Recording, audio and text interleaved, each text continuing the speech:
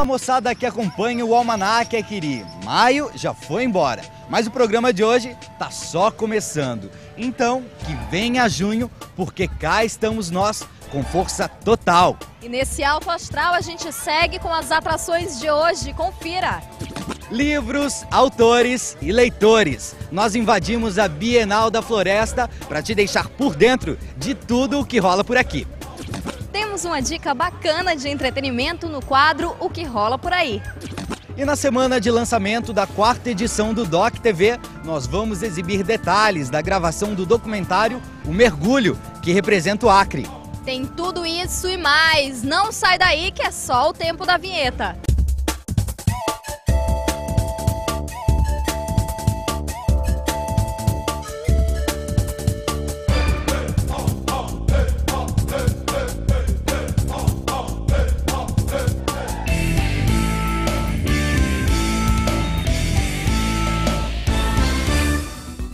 Grandes editoras, autores, eventos culturais e apreciadores dos mais diversos gêneros literários. É a primeira Bienal da Floresta, do livro e da leitura, que desde a semana passada tem movimentado o centro de Rio Branco. Dezenas de tendas formam o universo mágico da leitura aqui na Praça da Revolução. E nós te convidamos então para saber mais sobre esse projeto bacana.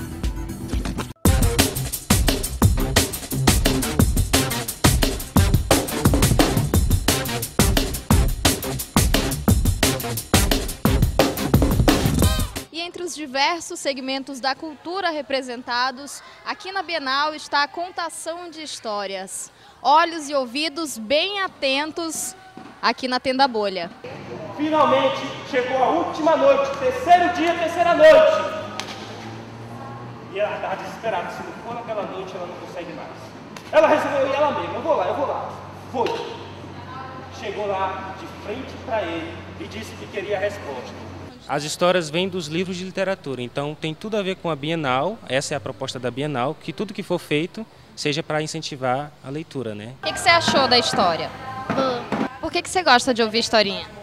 Porque é muito educativo, que eu gosto de ler, assim, eu acho muito educativo. E quem também marca presença aqui na tenda das novas mídias é a comunidade digital. Ian, o que está acontecendo nesse espaço aqui? Então, nós estamos oferecendo várias atividades na parte de informática, né? Atividade como a web rádio, que é uma, é uma rádio é, virtual na internet.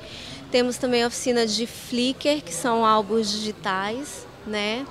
Temos a oficina de HQ, é, voltada para o público infantil.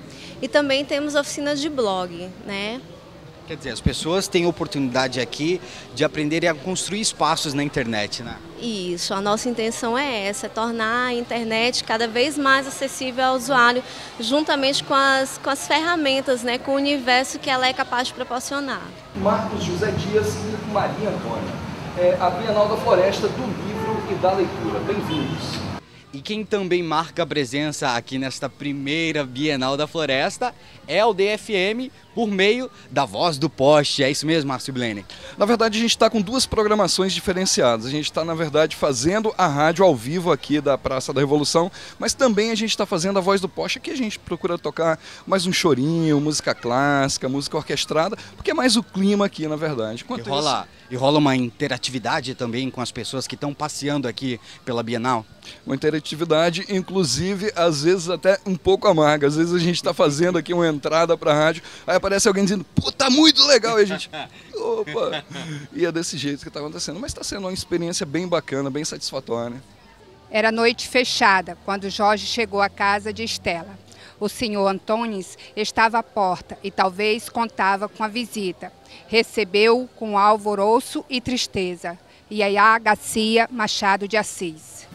E se a feira é do livro, é lógico que ele não pode faltar. E o seu Francisco está aqui com a Ingrid e acabou de comprar um livro para a filha, né? Sim, porque é, é um incentivo muito bom você é, ofer- oferecer um livro a uma criança, e principalmente na minha área, eu sou professor e eu preciso incentivar aos meus alunos, né, começando pela, pela minha casa. Que livro que você comprou? da Xuxa. Você gosta de ler bastante? Você lembra de alguma história que você já tenha. a história que você mais tenha gostado? Qual foi? Da Cinderela. As tendas de literatura infantil estão sendo muito frequentadas aqui na Bienal. As pessoas vão em busca de atrativos que despertem a atenção das crianças. Livros com dobraduras, com imagens diferentes. Ela teria que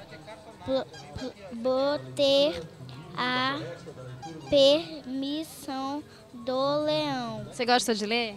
Gosto. Por quê? Porque a mente minha fica melhor.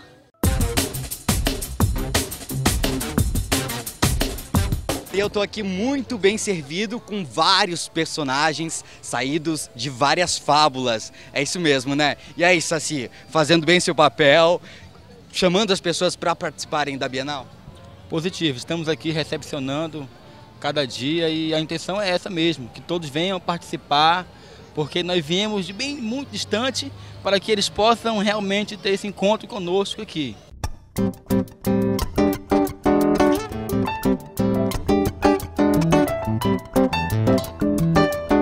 Já deu para comprar bastante coisa nessa Bienal?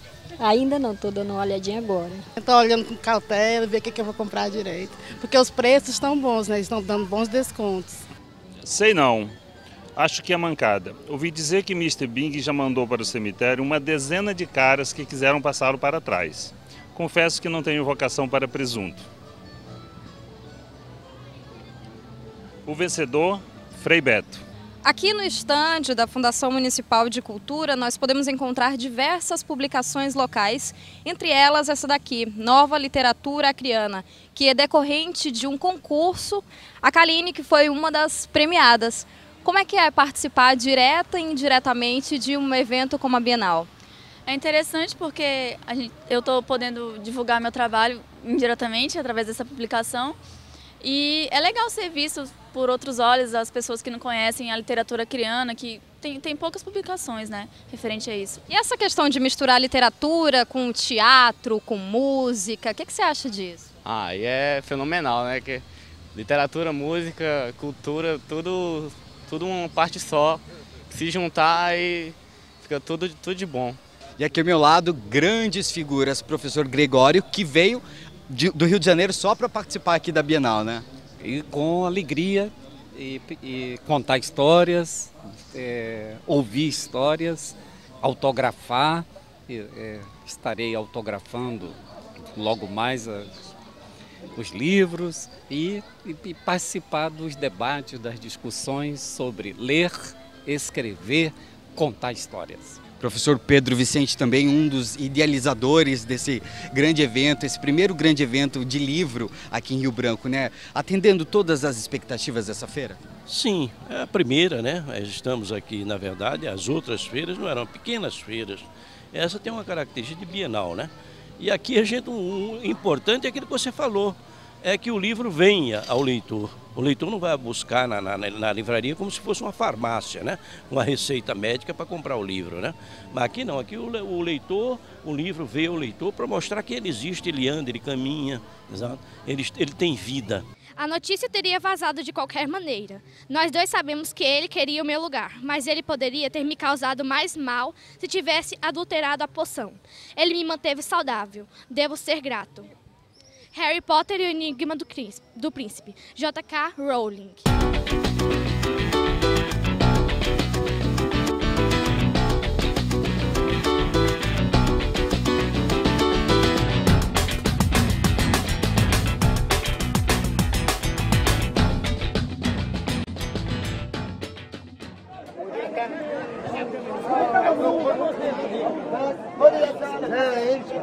Ser amigo Amigo é tudo, amigo é companheiro, é irmão, tá junto nas horas fáceis e nas difíceis também. Compreensão, gratidão. Alguém que pode confiar. Melhor coisa, né? Porque amigo é melhor do que um irmão. Você é amigo hoje não é nada.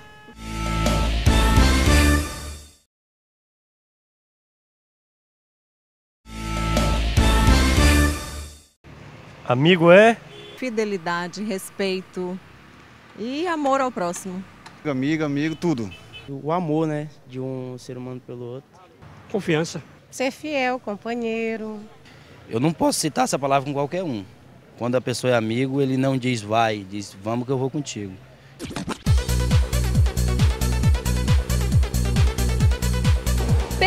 Perfumes e cores compõem o trabalho da nossa entrevistada, que mudou de vida através do cultivo de plantas e hoje já é uma empreendedora reconhecida no mercado.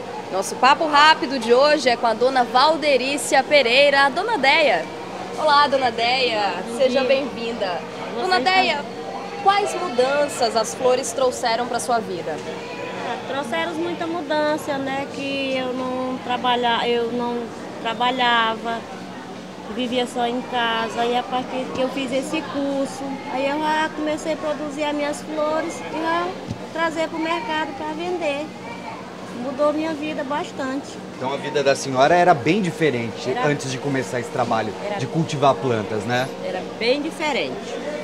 Se queria comprar uma coisa, eu tenho que pedir um real ao marido, dez reais. Aí agora eu não dependo mais disso. Já planto, vendo e compro minhas coisas sem estar pedindo o marido. Agora, dona Deia, eu fiquei sabendo que a senhora tem uma relação bem diferente com as plantas, né? O que a senhora sente quando olha para elas? Como é essa relação? Sinto amor pelas minhas plantas. Quando eu vendo minhas plantas, assim que a gente tem que vender, mas a gente sente saudade. É igual assim o amor que eu tenho pelos meus filhos. Tem alguma espécie que- que a senhora se identifica mais, que a senhora mais gosta? Por quê? Tem a hortênsia. A hortênsia porque ela é mais, mais delicada. Aí eu fico mais, sou mais dedicada a ela. É uma das que a senhora acha mais bonita também? É, ela tem um buquê de flor dela, é muito bonito. Aí principalmente a branca, que eu, eu consegui a muda da hortência branca, aí essa eu não.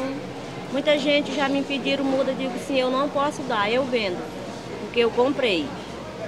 Se eu comprei, eu tenho que vender. Que empreendedora é essa que compra para dar? E a senhora já deixou de vender alguma planta, alguma espécie, porque achou que a pessoa não ia cuidar muito bem? Não.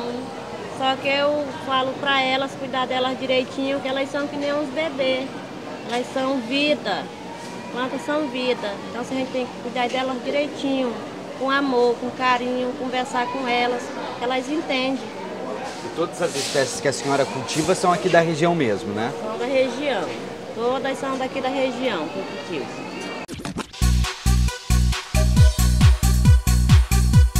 Olá, galera. E A gente está aqui para divulgar um pouquinho a agenda do cinema do Sesc. O projeto Cine, Cine Comerciário ele acontece todos os dias ao meio-dia e é uma programação bem interessante. Né? São filmes de gênero tanto nacional quanto estrangeiro e filmes legalizados. A gente tem uma programação bem interessante para você. O horário sempre ao meio-dia e é gratuito. Il marche, il glisse en équilibre sur la corde raide. Une courbe l'entraîne à droite, une tache l'entraîne à gauche. S'il rate son rétablissement, tout bascule, tout est perdu. E também à noite. À noite a gente trabalha com uma linguagem um pouco mais complexa, que, que a gente, inclusive nesse mês, estamos trabalhando com a Zacine, possibilitando também o debate sobre o fi- filme A Criança. Então você é nosso convidado todos os dias, de segunda a sexta-feira, no horário de meio-dia aqui no SESC. E nos finais de semana, aos sábados, também rola uma programação bem interessante.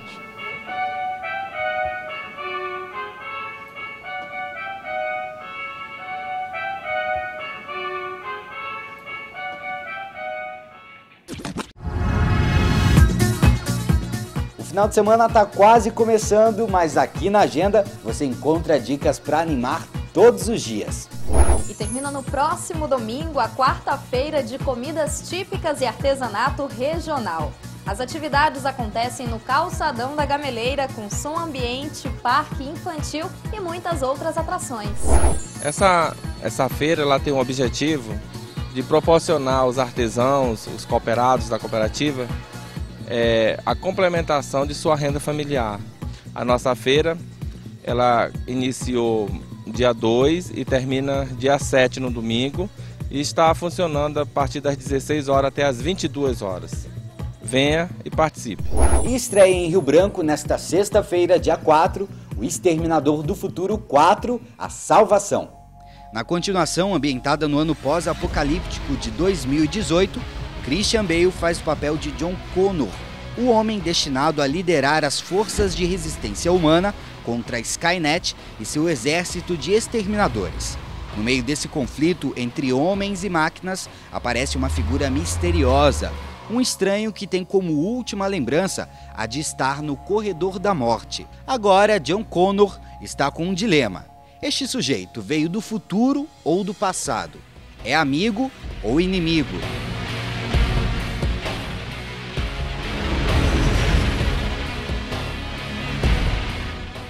O Exterminador do Futuro 4 está em cartaz no Cine João Paulo, nas sessões das 7 e 9 da noite.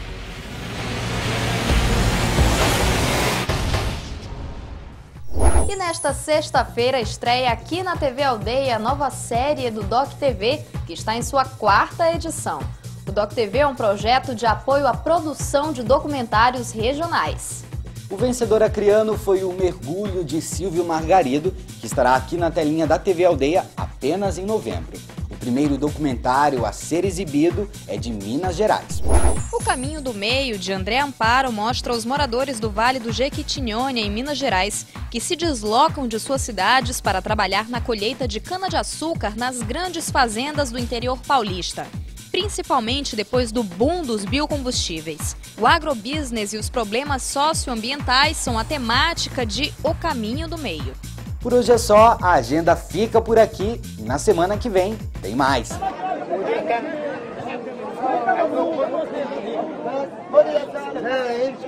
Amigo é alguém muito especial. Amigo é você trazer dentro do coração. Amigo significa lealdade, você ser sincero nas coisas que você está fazendo, né? Uma pessoa mais íntima.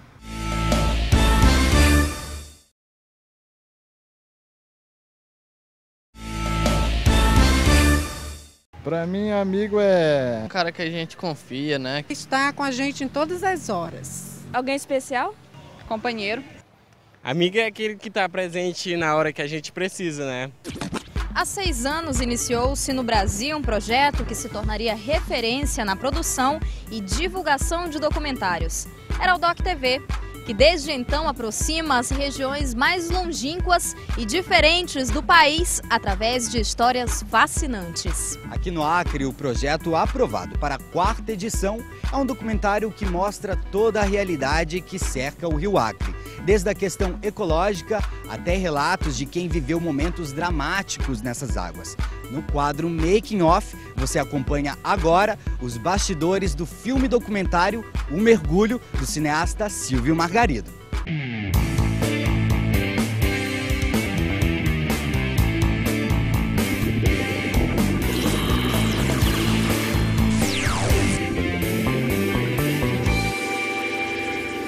O mergulho, Almanaca Quiri, take 1, valendo.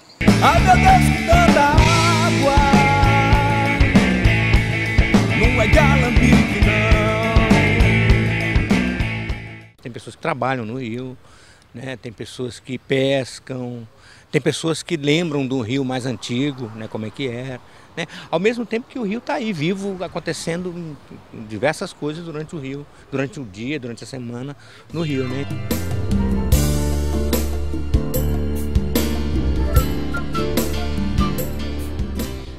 Projeto aprovado no DOC TV 2008 seja colocado em prática, a equipe de produção elaborou uma sala especial só para esse planejamento. É aqui que eles definem todos os detalhes e tudo que vai ser colocado em execução, na verdade. Thalita, eu estou vendo aqui umas fotos, vários lembretes ali, um calendário. Como é que foi a organização disso tudo e qual a importância disso aqui para vocês? Então, a gente chegou, a sala estava meio branquinha, assim, né? Então, para o pro processo de criação que a gente precisa, a gente tem que ter uma, um, uma, é, uma inspiração, né? E a gente montou, recortou uns cartazes de filme e, e colocou um movimento para a gente ter esse, esse ritmo de produção constante, né? Como é que está esse primeiro momento? Bem, a gente acabou de ter duas semanas que a gente chama de pré-produção, né? Que foram pesquisas, é, encontrar os personagens, pesquisa de locação, para montar o cronograma, cronograma físico, cronograma financeiro, né?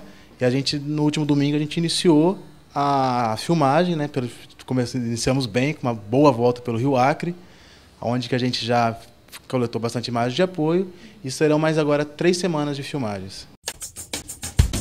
Silvio, Oi. A gente está então a caminho de mais uma gravação, como tem sido praxe, né? É, vamos lá para Cidade Nova, num posto de Catraia, conversar com uma, uma moça chamada Rosângela. A gente estava andando lá pelo Rio, pesquisando, fotografando, conversando com algumas pessoas. Aí ela estava remando lá no posto, nós começamos a conversar com ela, é, propomos dela participar. Agora, por exemplo, a gente tem duas personagens, então a gente usa sempre um microfone para fazer um ambiente e aí eu boto um sem fio em cada personagem e vou cobrindo assim. Eu gravo num gravador multipista, então eu gravo em até oito canais se precisarem. E depois na edição o cara decide qual é o melhor som para usar e mixar. E... Assis, você que já está aí no telejornalismo há muito tempo nessa área, é diferente esse tipo de trabalho? Olha, é diferente, é legal, é um mergulho mesmo de imagem. É, a gente fez algumas viagens de barco, a gente teve a, a possibilidade de estar no momento certo e na hora certa de pegar bastantes imagens, imagens bonitas, né, de ambiente, do dia a dia dos moradores na beira do rio. Fala aí, Rosângela, fale comigo. Aqui como é que se chama? Se chama Preventório. Preventório, que é Rio Grande Vamos esperar passar, né? Vamos esperar passar? Vamos esperar passar um pouquinho, tá? Porque tá... É, tá feio, né? É, até, até soleio o sol sem cuidado. Porque até é, quando, quando é, porque aí Quando ela para de falar, aí estoura o. É, vem a chuva o, toda. É. É. Nem estoura não, É, mas tá- é.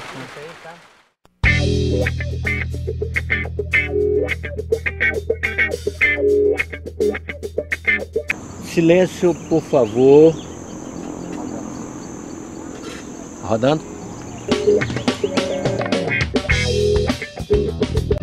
Quando tu vier, não olha pra câmera não, tá? Tu desce direto quando tu for pro barco.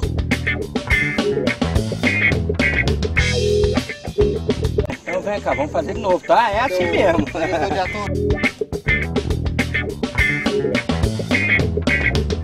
Tem uma cena só que é uma cena ficcional, né? Mas a gente conseguiu, com alguns dos nossos personagens, pessoas que, que a gente estava entrevistando, conversando, conseguiu que eles também se soltassem, até ficcionassem também um pouco a, a sua participação.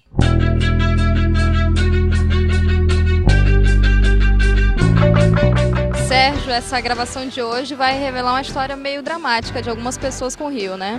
Sim, uma história assim que não, não foi nem um pouco fácil para eles, né? Aí eu vou ter que estar ali pra fechar o trânsito. Como? Não, mas a gente só vai fechar o trânsito quando eu estiver pra cá, quando eles estiverem papeando lá, entendeu?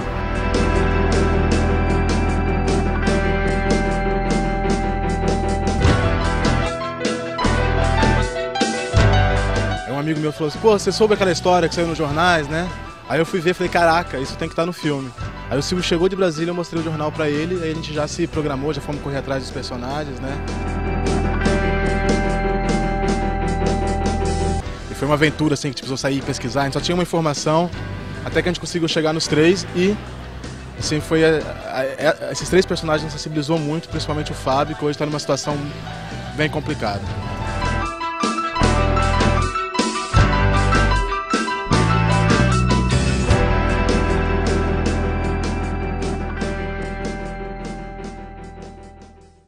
Após três semanas de gravações, a equipe chega à fase final dessa etapa do trabalho. Foi uma ralação durante três semanas. Experiência nova, boa, aprendi bastante. Você vai aprendendo dificuldades técnicas de ser trabalhada no rio, por exemplo, sempre filmando barco, barulho de motor, barulho de um monte de coisa. Mas graças a Deus a gente conseguiu fazer o que a gente se propõe a fazer, né? E até alguma coisa mais.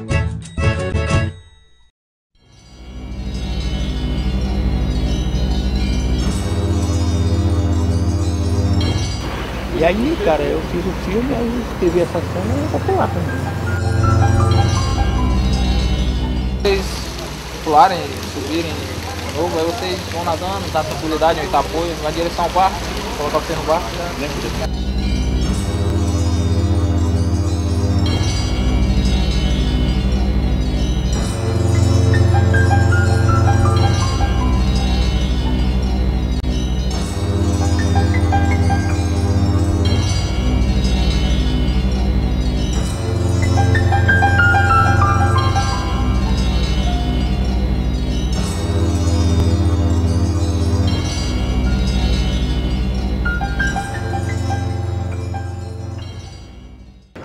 Que é só 10 quilos de peixe que a gente, tem, que a gente pode pegar, pode pescar. Não todo tipo de peixe também.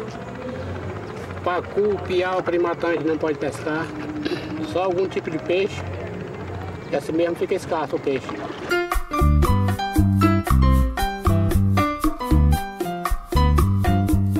Toda vez que a gente passar no rio vai ser, é, vai ser uma- um olhar diferente que a gente vai ter depois que finalizar esse trabalho. Essa grande homenagem que está prestando ao Rio Acre, eu acho que tá foi bem proveitoso o trabalho para todo mundo. Eu estou satisfeito com o material. Acho que a gente tem material suficiente para fazer um bom vídeo né, sobre o Rio Acre.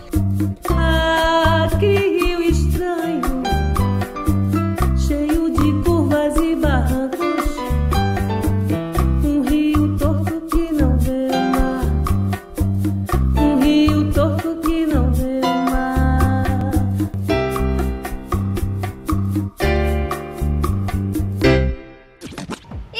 é bom dura pouco, acabou o Almanac Aquiri de hoje. Mas nem dá tempo de ficar na saudade, porque na semana que vem a gente tá de volta. É isso aí, com a descontração e o entretenimento de qualidade que você já conhece.